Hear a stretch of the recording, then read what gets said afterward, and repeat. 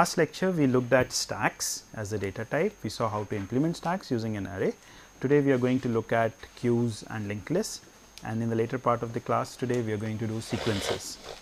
So, uh, in particular, so in the first part of the class today I am going to do queues, linked lists and double ended queues.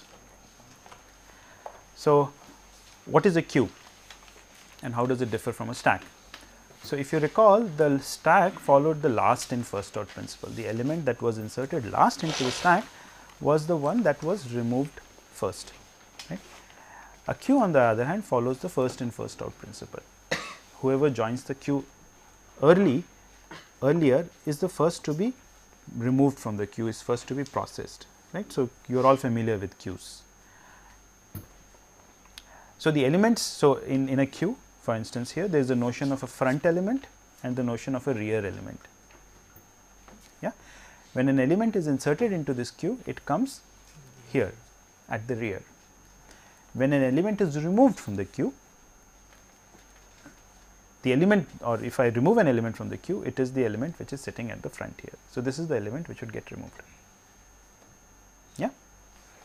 There is no notion of beach mein queue join karna, right, which you are all guilty of. So, we always insert an element at the end and when we remove an element it is always the element at the front. So, the queue is also an abstract data type and uh, we can define a few methods on the queue. Uh, these are the standard operations as you can think of one would be to create a queue right the method new would create a queue. enqueue is the is the method to add an element to the queue and dequeue is to remove an element from the queue. Yeah? When you dequeue and if, if uh, after you dequeue an uh, a queue when you remove an element from the queue you get another queue. The front is a method which gives me the front element of the queue. Okay. How does it differ from dequeue? It does not remove the front element, it only tells me which is the element at the front of the queue.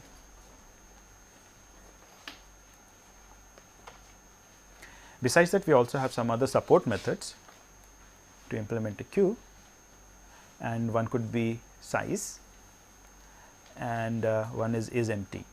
Size would tell us how many elements are there in the queue and is empty would tell us whether the queue is empty or not. So, it would return a true if the queue is empty and false otherwise. And just as we had defined some axioms for the case of stacks, we can define similar axioms now for queues. Right. So, if I have if I create a new queue and I insert an element or an enqueue an element v and then I say what is the element at the front of the queue then it should be v. Yeah, you understand why, why this is true. Suppose I create a new queue and enqueue an element and I dequeue an element uh, there is an extra queue here. I dequeue an element, then what should I get? I should get the empty queue, right, which is the same as what I would have obtained if I had just called new. Similarly, here if I had a queue capital Q and I enqueued an element W, which means I added this element to the queue, then I added another element V to the queue, right. So, which is coming before and which is coming later. So, W is ahead of the queue, ahead of V in the queue.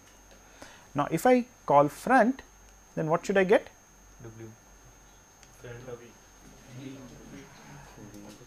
So, what are so first you have W all the elements of first you have all the elements of Q followed by W followed by V. So, which is the element of the front at the front of the queue whichever is the element in the front of q comma w. Why have I written front of q comma w and not front of q? If q is empty, yeah, because if q is empty, then this would not. If I had just written front of q here, that would not have been defined, right? If a q is empty, then there is no notion of a front of the q. So that's why I have written q comma w, front of n q comma w. Okay, so same thing as before. I had a QQ I first inserted W into the queue then I inserted V and I, then I removed an element right. So, which is the element which gets removed? Which was, was the element at the front of Q, Q. And if there was q was empty then it would have been w right. So, then this operation is the same as saying that I had q, I removed w, I added sorry I added w to the q, then I removed an element from the q right and then I added v again. Right. So, the q that I would obtain as, as a result of these two procedures should be the same. Yes or no? Right. Let us just check it out. Let us assume that q was initially empty. Then what does this give me? First I added w, then I added v and then I removed an element. If I removed an element from the q, what would I get? W. W is removed, right. So, what should I get the remaining q as V? Let us look at this now. Q is empty, I added W to the q, then I removed an element. So, once again I am left with an empty q and then I enqueued V. So, I have a q with V in it. So, if q is empty then it is in both cases the q will have only V in it at the end of the procedure. If q is not empty then when I enqueued W then I enqueued V again. So, I have a I have a queue in which I have first all the elements of Q followed by W followed by V and then when I dequeued what should I left be left with? I will be left with the Q without the front element the original Q Q without the front element followed by W followed by V and let us see if we get the same thing here. I started with Q I added W to it. So, now I have a Q in which I have Q and W then I dequeued which means I remove the front element of Q so, I have the Q now contains all the elements of Q except the front, then I have W in that Q and now I added V at the end. So, I get the same thing. How do we implement a queue? We are going to use an array to implement a queue and we are going to use it in a circular fashion. What does that mean? Um, Suppose someone tells us that this queue is never going to be larger than n elements. So, I am going to allocate an array of size n. I am going to have two variables f and r, f for front and r for rear. f is the index of the front element of the queue, right. So, wherever the front element is in the queue, f will be referring to that position and r is an index which is the element following the rear element. So, as you can see R refers to this location, this blue part is the part which is occupied by the queue, right. How did the key q reach this place, right? I would have started with the front here, right. The first element I inserted must have come here, then the next element I inserted must have come here, the third element I inserted must have come here and so on and on. But then I am also deleting elements. When I am deleting element, this element goes away. So, in effect the elements of the queue kind of drift right, yeah and so we are now at a stage where the front element is here and the rear element is here. This implies essentially that we have kind of deleted f minus 1 elements let us say since the queue began right. Not accurate completely accurate the statement of mine, but you will see what I mean by it. Okay. Now, I have said something like in a circular fashion what does this mean and why am I saying such a thing. So, let us say we kept inserting elements in this queue I inserted another element, I inserted another element, I inserted another element and now I cannot insert any more elements right because I have already reached the end of this array. But I have space available here in the front. So, what will I start doing? I will wrap around, I will start inserting the elements here right and this is what will happen right. Your queue can at some point also look like this where this is now the front you recall in the previous slide front was to the left of the rear, but now front is to the right of rear because your queue is now starting from here and going like this. Now, when I insert an element I will still it will come at this location, next element will come at this location and so on. Yeah, everyone with me? Okay. Now, initially our queue began. So, when we started front was referring to this location or where was front referring to when we begin? Where should front have referred to and rear have referred to? f should have been at minus 1 right because we said front refers to the first element of the queue there is nothing in the queue then f should be minus 1 and uh, rear refers to 0 right?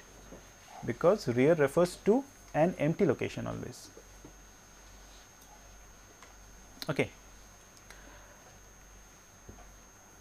So, what does if at some point I reach a situation when f equals r, what does this mean? Empty or full? Full or empty? When it becomes empty, what will happen? So, suppose now at this point, starting from this point, I kept removing the elements I didn't add any other element. मैंने इस element को delete किया, then I deleted, I removed an element, I removed an element, I removed an element, I removed this, I removed this, I removed this, then I removed this. Right now, where would f be? f would be incremented to r. So f becomes r. When f is r, the queue is empty. Right. But suppose I kept incrementing, I, I kept adding elements to the queue. So when I add R will move one step, R will move another step and so on. When I add an element here, then R would be pointing, would be referring to here. So, again f equals R, right? Not add, not add the nth element We will not add the nth element. Add only n minus Right. So, that is what we are going to do. So, there is an ambiguity here, right. So, we have to resolve this in some manner. f equals R can mean both empty or full. And since we will have a problem if we do not know whether the queue is empty or full, we will try and ensure that we never add n elements to the queue. When the queue has only n minus 1 elements, तभी हम उसको full declare कर देंगे. We will declare it to be full. Okay. So that's what we are going to do. Okay, let's look at the code for enqueue. So this is just pseudo code. Uh, if the size of the queue if the number of elements in the queue is n minus 1, then we are going to stop. We are going to say sorry, the queue is full. We return the queue full exception. Otherwise, if such is not the case, then at the rear location put the element that you are trying to insert, yes, and increment r. And why is this mod n required? Because we need to do the wraparound. It's yeah, it's circular. So wraparound, right? So when r becomes so r or the indices go from 0 through n minus 1 only. So, when I increment r, if r is already n minus 1 and I increment r at this point, then I do not want it to become n, I want it to become 0.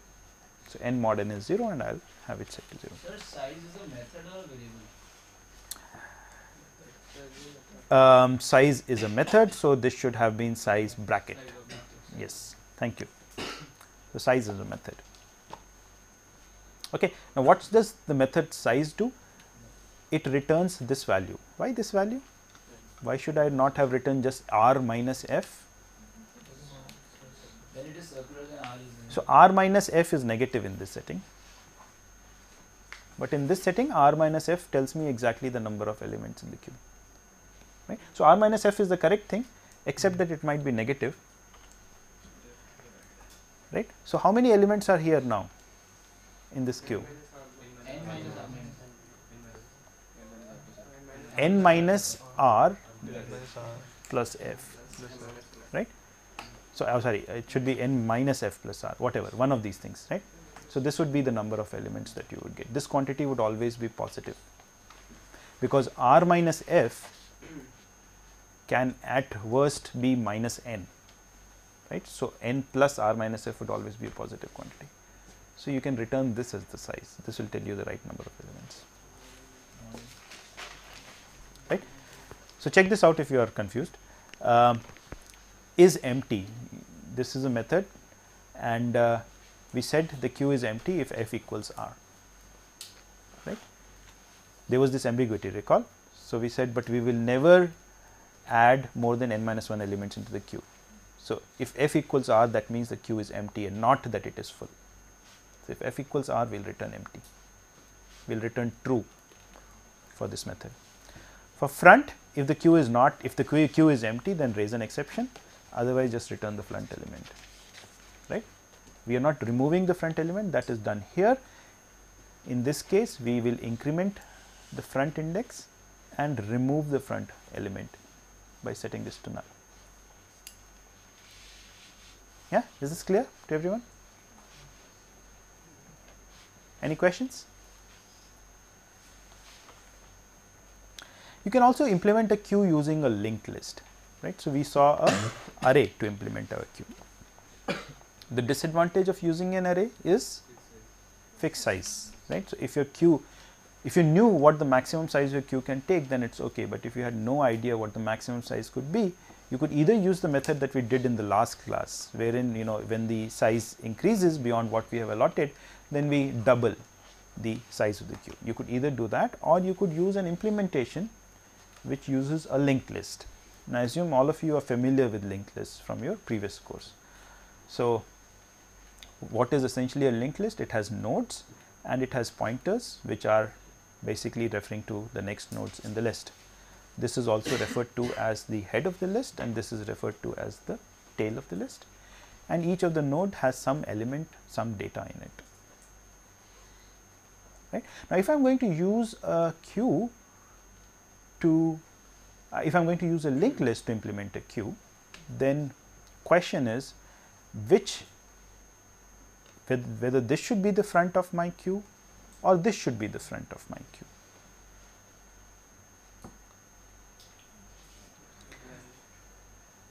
Yeah, which should be the front of my queue?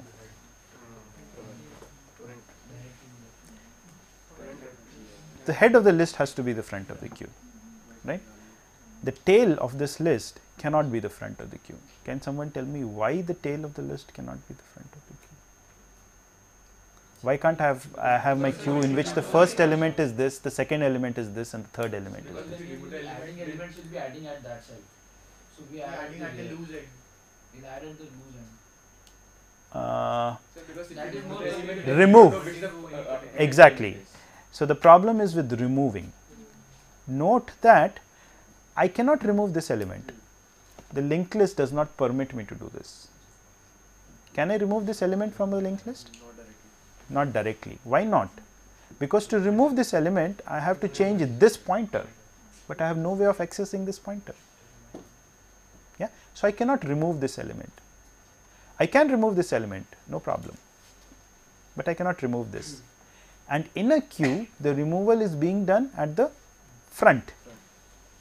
Yes, we remove the element at the front of the queue. So, since I cannot remove the element which is sitting here, I cannot call this the front of the queue. So, I would like to have this as the front of my queue. Okay. So, let us see how we are going to implement our methods.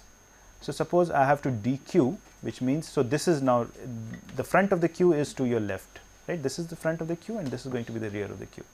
So, if I have to remove the element at the front of the queue I have to dequeue then what should I do the head should now point to here that way this front element will get removed. So, I just increment so I just make the head point to this element now yeah. So, in this manner I can delete at the head very easily, I can delete this element very easily. I can also insert a new element at the head very easily, right. I just create a new node and I connect it here and I make the head point to the new node. So, inserting at the head is also very easy, right. Everyone follows this dequeue operation, right. So, this is the front of the queue and I can just kind of move the head one step to the right and in that manner remove the front element of the queue. we'll have to put null in the node of the first. Hmm. Yeah, that, that will also be need to be done. Okay.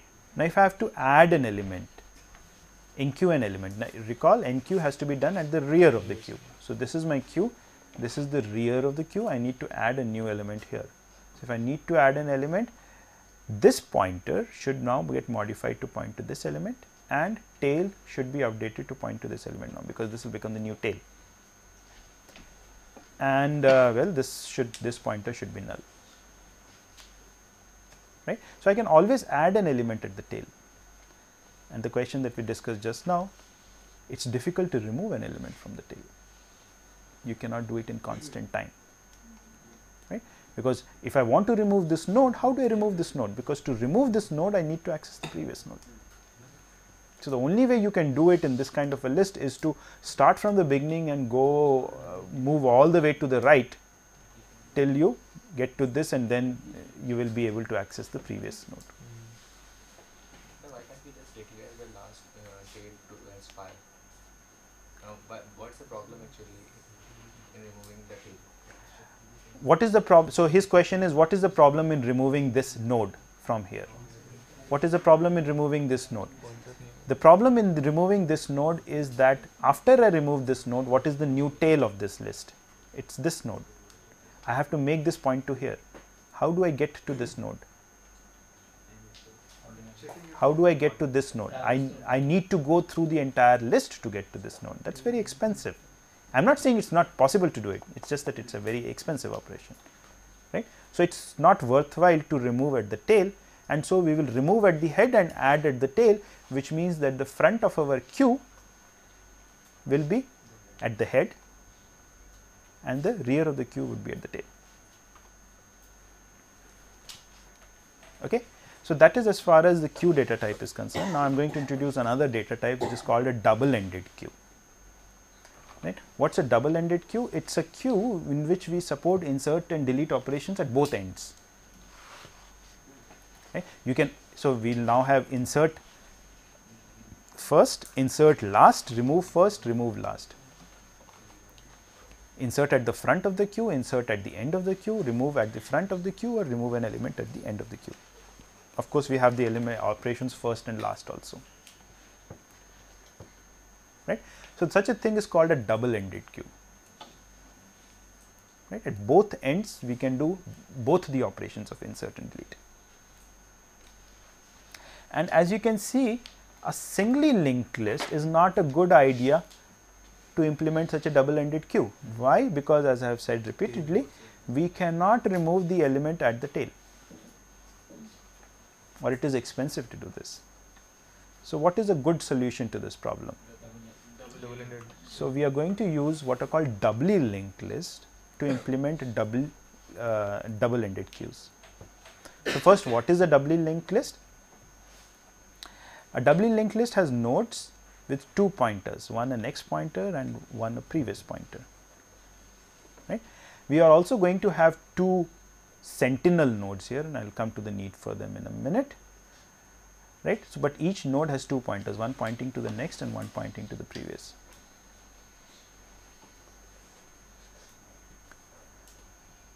Now, using such a list we can implement all the operations of a double ended queue in constant time. Why? So, now the problem earlier if you recall was how do I delete this node which is at the end. How do I delete this now? If I have, so I have a pointer to, so trail these and these are two sentinel nodes and I have pointers to these two nodes. How do I get to this element? I just follow the pointer once and I get to this element. How do I delete this now?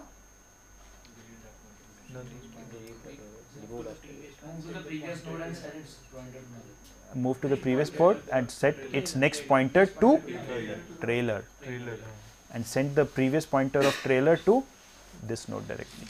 We will perhaps see a slide on this one. Okay. So, we will need header and trailer nodes in a doubly linked list. Header, so these, these nodes are called sentinel nodes or dummy nodes because they do not contain any data inside them, right. They are just there to mark the start and the end. Okay. This is useful. Uh, this part is not clear how you basically the How do you delete the? How you delete from that side. Okay, we come to that in a second. Okay, so that's answering his question. How do you delete at the end, right? So here is those who have not followed it. So I have to delete San Francisco, right, out of this list. All I have to do is make this pointer point to here make this pointer point to here right and then this node is out.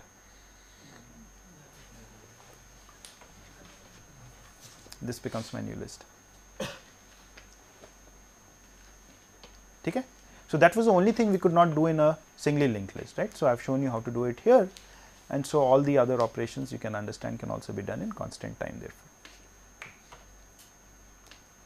Any questions? Right. So, using a doubly linked list we can implement all the operations in constant time, all the operations of a double ended queue in constant time. You can insert at the front, insert at the end, delete at the front or delete at the end all in constant time. Right. What does constant time mean? Time which is independent of the number of elements in the list. Right. आपकी list कितनी भी बड़ी हो, your turning time will not be dependent upon that. Okay. Now, a double ended queue is a fairly generic data type. It can be used to implement other data types also, right. So, suppose you had an implementation of a double ended queue, you can use that to make a stack or make a queue and we see how, right. So, I have a implementation of a double ended queue, sorry, I have an implementation of a double ended queue. I can use the methods of this implementation to implement a stack right. So, for instance, uh, the method top would correspond to let us say we keep the top of the stack we make the top of the stack correspond to the last element of our double ended queue.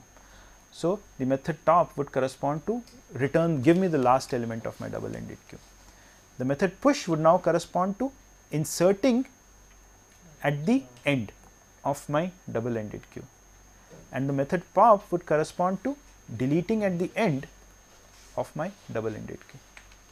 Right. There is nothing sacrosanct about last here I could also make this correspond to the front element of my double ended queue in which case this would have been front this would have been insert front and this would have been remove front. Yeah, you could use it either way you like. And size just corresponds to size of my double ended queue and is empty just corresponds to is empty of my double ended queue because these are only dependent upon the number of elements in the queue. Right. Similarly, I can use a double ended queue to implement a queue. Right. So, now front would correspond to the first element of to give me the first element of the uh, double ended queue. enqueue what do I do in enqueue? I insert at the rear. So, that corresponds to insert last. And when I say dequeue, I say remove from the front. So, remove the first element of my double ended queue. Right. So, if I have implemented, if I have a D, uh, DQ implementation, I can use the methods to implement a stack or a queue or one of these data types. Any questions?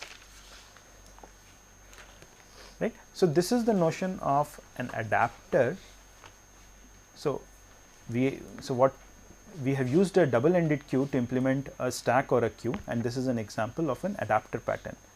So, adapter patterns implement a class using methods of another class.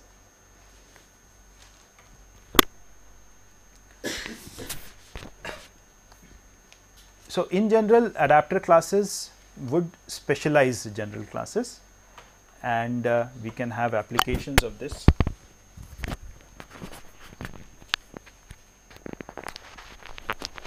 One application would be um, we can uh, implement as we just saw we can implement by changing some methods we can implement for instance a stack using a double ended queue. Um, another application would be for instance, uh, in the last class we saw an implementation of a stack right using an array. Stack we defined an interface called stack and we implemented it using an array right. Let us that implementation had called it an array stack and what elements what are the contents of this array stack they are any arbitrary objects and I can adapt this implementation to an implementation called integer array stack which only use has integer objects in it. So, all I would have to do is change the or suitably cast the type of the objects that I am pushing into this stack or removing out of this stack.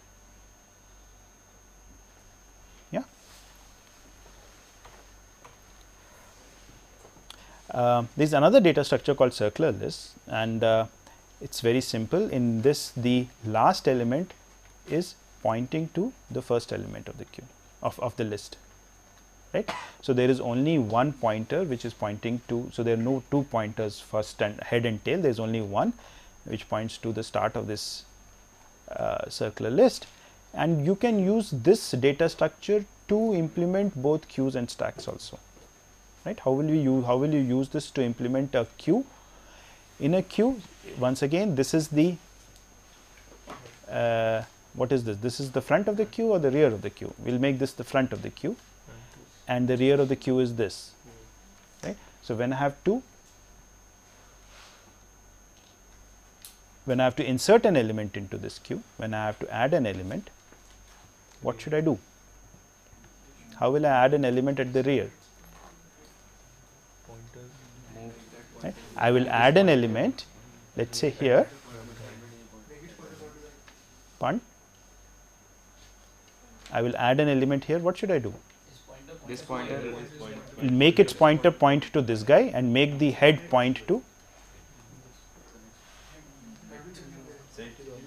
and make that element point to us to the left. That pointer point to head. And the previous last point to that point. So yeah it is not straightforward right because if you were to do that how do you make this point to the new node that you have just created that has to be done देखिए after all what we want is that we want to create a new node here the node previous to the head. right so this will become the new node that you that the element that you are inserting will now go into this node make it go into this node and create a new node and copy this element into that new node. Right? And make the head point to that new node. So even copying can be very costly. copying is not costly because here you are only copying the reference. Yeah? So think about this. It's very straightforward. So in this manner you can insert an element at the uh, you can insert an element in this queue if you are using this to implement a queue to remove an element removing an element corresponds to removing the first one right how do you remove the first one now right. If I were to just remove this element here, then how do I make this point to this? Problem? Right. So, what do you do again? Let us remove this one. Let us remove this node and copy the contents of this node to here. Yes. We have to remove Rome. How do I remove Rome? I copy Seattle to Rome. So, this now has Seattle in it and I remove this node. Copy here means just changing this reference. Yeah? अभी ये यहाँ point कर रहा है अभी इसको आप यहाँ पॉइंट करा दीजिए okay so uh, that's all i wanted to discuss about queues and uh, double ended queues so now we are going to go to the second part and we here will quickly look at uh, some sequences so vectors we are going to be talking about vectors we are going to be talking about positions we are going to talk about lists and general sequences right so they um, we will be using the data structures that we have seen so far arrays and linked lists to be able to implement these data types. So, what is the vector data type? Uh, the vector data type is a sequence of n elements that supports these methods. So, these are indicative methods, these are not all the methods. So, essentially in a vector, so it is a sequence where there is a notion of rank with every element of the sequence, right. So, think of um, a sequence of elements right 7 11 13 19 and we know that 7 was the first element, 11 was the second element, 13 was the third element and maybe I said 5. So, 5 was the fourth element. So, with each element there is a notion of a rank right and then I can have methods like give me the element at rank r. So, rank here corresponds to let us say rank are integers right. So, the first element was element at rank 1, the second element was element at rank 2 and so on. So, suppose I ask you give me the element at rank r or replace the element at rank r by the element e. Insert an element at the rank r, insert the element e at rank r or delete the element at rank r. Right? I could have such me methods. Yeah. Note that when I remove the element at rank r, So when we are saying that delete the element at rank r, so the next element will still have that same rank. Right. So, what happens? So, think of rank as for instance, uh, let us say the rank of the students in a particular class, right. There is a departmental rank 1 and a departmental rank 2 and a departmental rank 3 and so on. Now, suppose uh, uh, departmental rank 4 does a department change and goes to some other department. Now, who has department rank 4 now? Whoever had rank 5th earlier, right. So, the same notion. So, everyone would move up by one rank. Yeah. So, let us see how to implement this data type. What do you think is a natural data structure? What would be one data structure to implement this data type?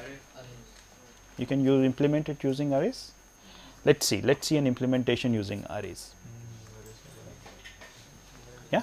So, what am I going to have? I am going to have this array in which I will here I will have the element with rank uh, uh, 1, the element with rank 2, the element with rank 3 and so on and on. Yeah. And now, if I have to insert an element at rank r, so I think yeah, so no this is going as element at rank 0 and let us say my ranks are beginning from 0 rank 0 rank 1. So, if I have to element insert an element at rank r what is the thing I have to do? I have to put an element here which means that I have to shift all these elements one step to the right. So, that is what I am doing here and then I put an element here. Right. So, what are we doing? We are in a for loop we are moving first n minus 1 we are moving one step to the right by this statement. And we are doing this. First n minus 1 is move one step to the right then n minus 2 is move one step to the right and so on and all till r. R is moved one step to the right. And then finally the element e is put at position r. And the size of the thing is increased by 1 right? N suppose stores the size of the vector. Similarly when i am removing an element at rank r i am essentially shifting all the elements one step to the left. Right? All elements starting from uh, this should be r to n minus 2 is okay. So, S i gets S i plus 1 the element at location r uh, the position the, the, the here I will get the element which was sitting at location r plus 1 and so on. Okay. How expensive are these operations in the worst case? Order n. In the worst case because we might have to shift up to n elements to the right or to the left right. So, this implementation is expensive from this point of view. If I have to do these two operations insert at a certain rank or remove at a certain rank, I have to in the worst case spend order n time. The other operations are faster though. Element at rank r, how much time does it take? Because I just go to the rth location in that array and retrieve the element sitting there. Replace at rank r, r comma e, again order 1 because I just go to the rth location and replace that element with the element e.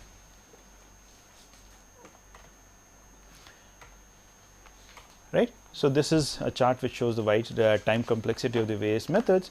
All elements, all methods except insert at rank and remove at rank take constant time. These two methods could take order n time in the worst case. Can you think of some other way of implementing this thing? A doubly linked list, right? Doubly linked you can use a doubly linked list to implement a vector. So, I am showing you here the operation of inserting at a certain rank. Now, what is the rank? This is the header. So, this is the element which is at rank 1, this is the element at rank 2, this is the element at rank 3. Sorry, this is this is the element at rank 3. So, now suppose I want to insert an element at rank 2, what am I going to do? I have to make a new node and I put it between 1 and 3. How much time does it take?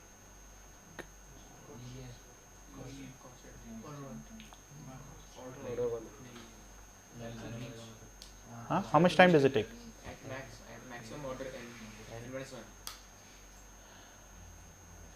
Okay, so everyone understands the process of insertion, right? I create this node and uh, how do I insert? I make its next pointer point to this node, I make its previous pointer point to this node and of course, ISCA next pointer would point to this node and ISCA previous pointer would point to this node. So, this is how I insert New York and this is what I get after insertion. Now, there are two issues. First, if I know where I have to insert, then I take constant time, but to find out where I have insert, I might take order n time. Yes? Because if I say insert at rank 17, I have to step through that linked list, go 17 positions and then I would know I have to insert at this location. Right? But once I know I have to insert at this location, then it's easy.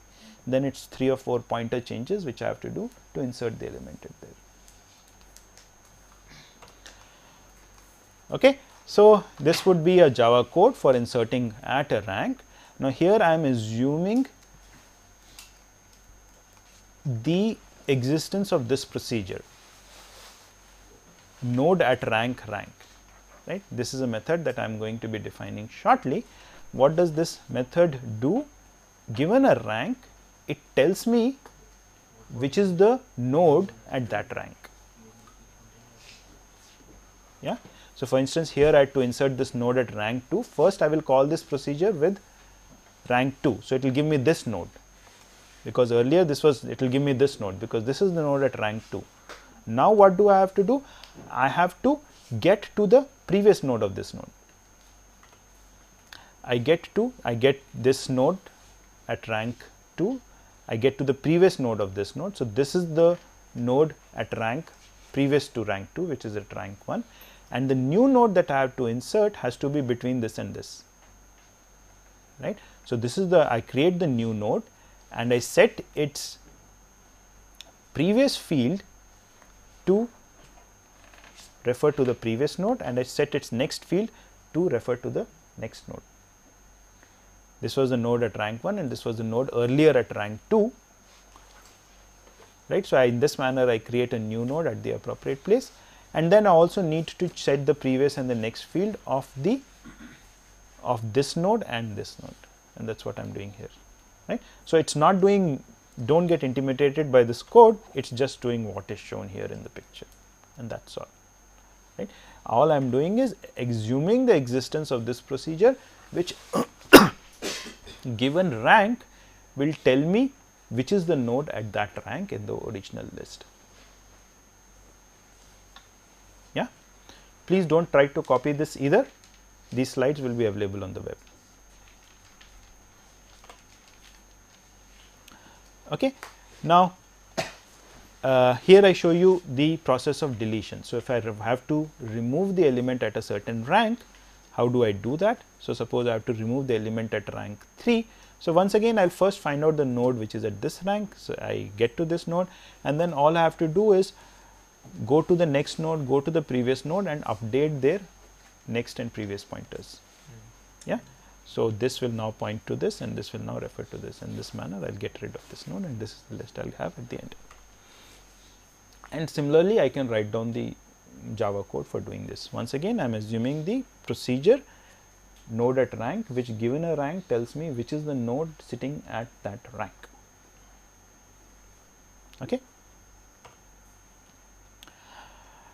Now, how do I implement this procedure node at rank? Well there is nothing else I can do except to march through that array, march through the list mm. and find out and keep incrementing my counter until I reach That's that rank. So, I have done essentially that except small improvement that if the rank is less than the number of the size of the list by 2, then I start from the header. And if it is more than size by 2, I start from the tail. Just to small improvement and nothing more right? But you could do such a thing. Yeah? Because if you are looking if your uh, list had 100 elements in it and you are uh, looking for the element at rank 98 then there is no point to start in starting from the header. It is better to start from the tail. Right? So that is as far as uh, uh, vector the vector abstract data type is concerned. Except that when I say rank um, when I say remove the element at a particular rank or insert the element at a particular rank as we have seen in both the implementations we have a problem right? Whether we use an array or a list to do that implementation we seem to require order n time in the worst case. Just to be able to in the list just to be able to find out where that element is where the element corresponding to that rank is. And in an array while we know where the element corresponding to that rank is we have to move the elements when we insert or delete. Right. So, linked lists are better in supporting node based operations. Right. I have a linked list. I tell you this node delete this node. Then you can if it is a doubly linked list you can delete that node in constant time. Right? Or if I say insert a node here and I say, or I say you know this is a node insert a new node after this node I can insert a new node after that node in constant time or if I say delete the uh, insert a node before this node again I can insert a node in constant time right. So, we have this data structure which is very efficient which can, can do constant time operations provided we give it access to the node we somehow access the particular node at which we want to do the insert or the delete right. So, that is why so that is what is mentioned here. You can re remove at a node or you can insert after a node or you can insert before a node all in constant time. Right. However, when I say when I give you access to a particular node then in some in some sense what I am doing is I am also telling you how I have implemented my list right whether it is a doubly linked list or a singly linked list and what are the you know what are the pointers and stuff like that. Suppose I want to hide all this information so that you can still use node based operations right without knowing the actual implementation of how the thing was was done right so that one can have many different implementations. So, we are going to do this using a notion of positions uh, so, positions is an abstract data type which intuitively captures the place where a certain element is stored right in your in your data structure it captures किस place पर आपका element है and there is only one method which is associated with this position and that is the element is the method element. So, given an object of this data type position I can only call this method element on that object and that will return to me that will tell to me what is the element sitting at that particular position. Right. If this is not making much sense think of position as a reference to a particular node. Yeah? Think of it as a reference to a particular node. You you are familiar with pointers so think of it as a pointer as a pointer which tells you right? And uh, but all you can do using that pointer is access the element that is situated in this node and nothing else. You cannot use that pointer to update the next or the previous fields or, or you do not even know how this node is implemented right? Whether the implementer has used a doubly linked list or a singly linked list or a circular list you do not need to know any of that right? It is an abstract data type which hides all of these details and uh, you can only use the method ele element on the abstract data type position. Okay. And with the notion of positions we will have a so there will be a relative order on all the positions just as it is in the case of a linked list right. So, there is the first element in your linked list the second element and the position is referring to the first element or the second or the first node or the second node or the third node of the list right. Similarly, the first position, the second position, the third position and so on and on. So, given a position there is the notion of a position before which refers to the node before that position and a position after that position. Right. And uh, we can now define a list abstract data type which uses these positions. Right. So, what would this abstract data type have? It would have generic methods like size and is empty. It would have query methods. So, given a particular position, I can have a method which asks is first, is this the first position of my list? If it is, this will say a yes and otherwise it will say a no and whether it is the last position of the list. I can have accessor methods which say first, last, before and after. First will give me uh, the first position, last will give me the last position, before P will give me the position before this position P and after will give me the position after this position P. I can have update methods like swap elements P comma Q. What does this do? Given two positions P and Q, it swaps the contents of these positions. Whatever are the elements sitting at these two positions, it swaps them. I can replace the element P, uh, the replace the element at position P with E and similarly I can insert the element E at the very first position. Yeah, I can insert the element E at the last position and so on and on. Yeah, and uh, using a doubly linked list, you can actually implement all of these methods in constant time. Right. So, the list abstract data type is just you know is your same as your linked list data structure, except that we are getting a abstract data type implementation of it. We are trying to capture all of those methods that you can do on, on a linked list as an abstract data type. Now, this data type can be implemented using a doubly linked list. It can be implemented using a singly linked list, except that it is perhaps more efficient if you implement it using a doubly linked list. Right? In the using doubly linked list, all of the methods can be done in constant time. Using a singly linked list, some of these methods might take linear time in the worst case right. And finally, we have the notion of a sequence abstract data type. So, we talked of the vector abstract data type where there is a notion of rank associated with each element, then there is the list data type where there is the notion of positions and the sequence abstract, abstract data type has both of these. So, it is it combines the vector and the list abstract data type, it is it inherits both of these interfaces, right. So, it is multiple inheritance and uh, besides the methods that are listed for vector and list abstract data type, it has two additional methods which kind of helps you connect go from one to the other right. So, given a particular rank r, it will tell me so the method at rank will return me the position corresponding to this rank and given a position p the rank of method will tell me the rank corresponding to this position right. So, you could have an implementation of this kind for a sequence. What is this? This is an array. Okay.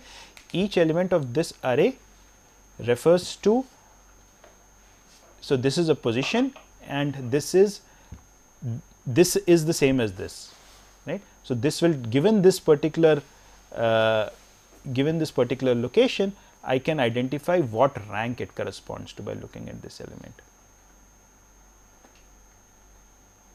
Yeah. So, now how is this method implemented rank of p? p corresponds to a position, a position here is one of these things right. So, given a particular position how do I know the rank corresponding to that position? I just look into this element here that gives me the rank corresponding to this position. Given a particular rank how do I determine the position corresponding to that? Suppose you gave me rank 1, I follow this reference and this is the position corresponding to this rank. At this position there is an element stored. What is the element? In this case it is New York. At this position besides the element there is something else stored which kind of provides a cross reference which provide let which tells me what is the rank corresponding to this element in my sequence right. So, at each of these positions I have an element stored and a rank of that element in my sequence. Okay. Now, suppose I had to insert an element at a certain rank, what would I do? Suppose I had to insert an element at rank 2. Yeah? Can someone tell me what I will have to do?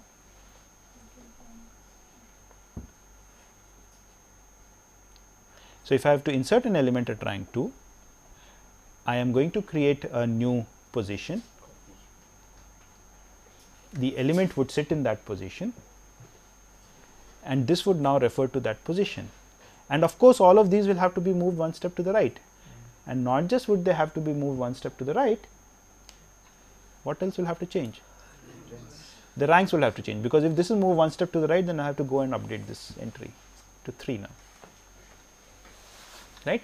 So, again inserting at a particular rank will take order n time in the worst case. Similarly, deleting an element at a rank right. Now, if I had given a particular position if I wanted to delete the element at that position what would I do?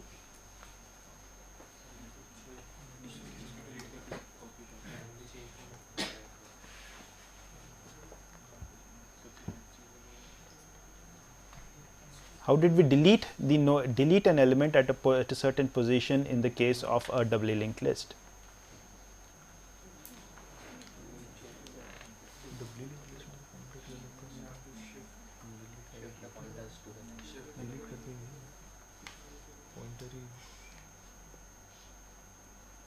Okay. So, you need to think about this.